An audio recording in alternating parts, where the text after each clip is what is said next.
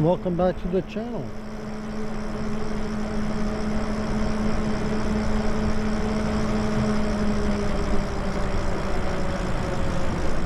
On this video, I want to talk about one of the most popular bikes going these days.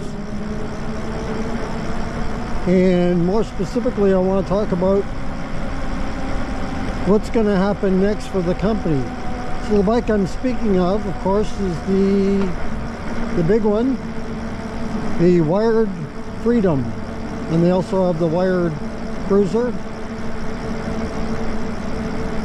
And in case you're not familiar with the bike, it is a 60 volt 1500 watt motor that peaks out at 2200 watts. And what I wanted to talk a little bit about is what's going to happen next for wired e-bikes. Are they going to uh,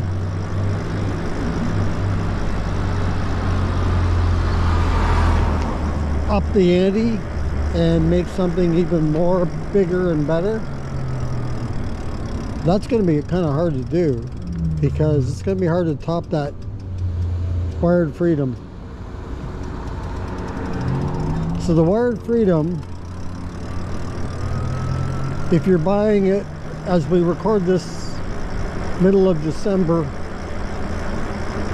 uh, video 2023 if you're buying the uh, bike right now you're going to receive it not before late January. And if you're buying the cruiser it's mid-January the uh, shipping will begin and but I wondered what's going to happen though in the future? What what comes next for wired e-bikes? So I reached out to ask wired e-bikes if they have any new models in the works. And the response I got was no there are no new models planned so I don't know if that means that they're just not tipping their hand to me or they really do have no plans to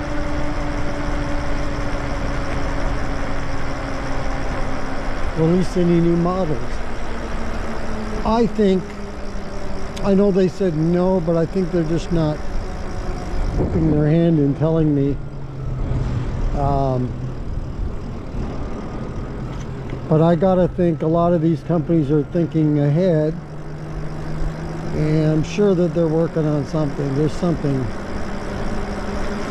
but I just wonder when they do and if and when they do what that bike will be like because it's going to be hard to top the wired freedom first of all when you look around there's just not a lot of 60 volt bikes out there for starters 60 52 even 52 is getting better. There's getting more of those now out there, but still not a lot. I mean, the, the sweet spot seems to be 48 volt right now. The most common seems to be 48 volt and 750 watt motors. And the controllers anywhere from 20 to 30 amp. That's usually what you get on a lot of bikes. But I like the fact that they have the 60 uh, volt and I personally I'd like to see more 60 volt batteries just for the fact that that gives you a little more power and depending on where you're at uh, the power uh, sure helps you for hill climbing and um, I mean the the power also helps you for other things too but the hill climbing is one and then also just for carrying that weight and being able to handle a nice capacity load.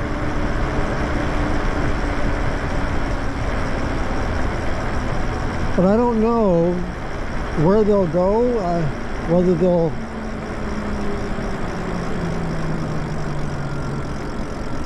build something kind of similar to the Freedom or change it up and, and I, I, mean personally I'd like to see them make a scrambler style bike. And maybe uh, keep it at 60 volt unless they wanted to venture into 72 volt.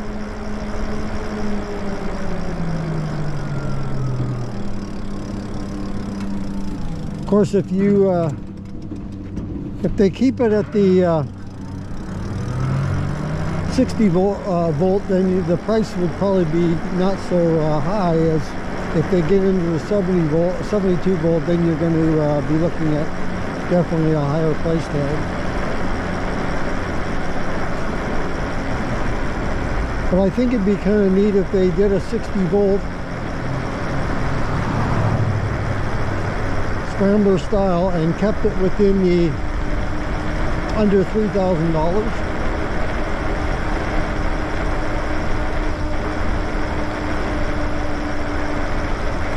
I think the one thing if you're gonna nitpick. At wired the wired freedom bike the one thing that I think would be nice to see on there would be a little bit bigger battery. Or maybe an option for a second battery. 220 amp batteries would give you 40 amp hour. That'd be uh, that'd be pretty sweet right there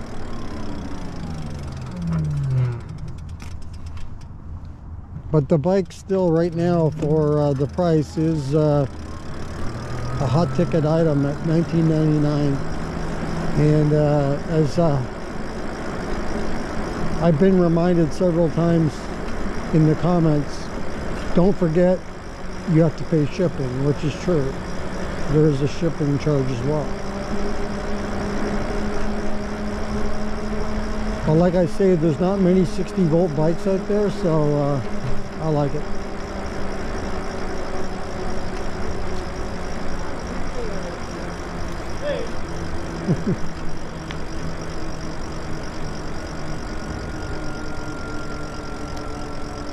So let me know in the comments what you'd like to see. What what could be next for Wired Freedom? What would you like to see them do on their next bike? I'd like to see if they did another model. I think I'd like to see first, I'd like to see the Scrambler, as I say, or something similar to the Freedom, but maybe add a little more battery. Give you an option for single or dual battery. But uh, I mean, it's got lots of good things on on the uh, Freedom. Maybe uh, maybe put a larger controller, maybe more than 40, maybe go 60 amp.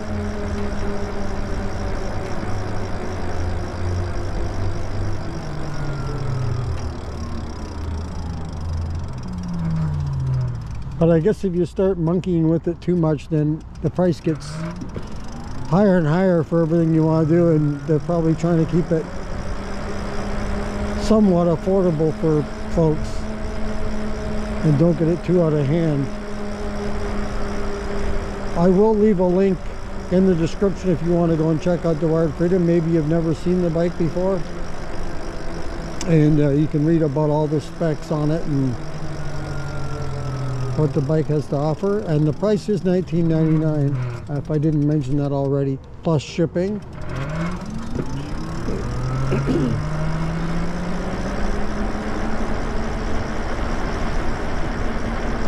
so hey, if you like these uh, videos that I'm putting out, go ahead and subscribe if you haven't already to the channel. Thanks for uh, supporting us. And also, if you like this video, go ahead and hit the thumb up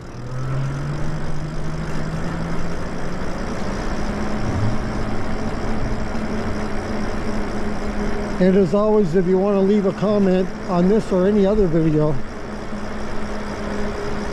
uh, you can do so right in the comments below. I do my best to get to the comments as much as I can.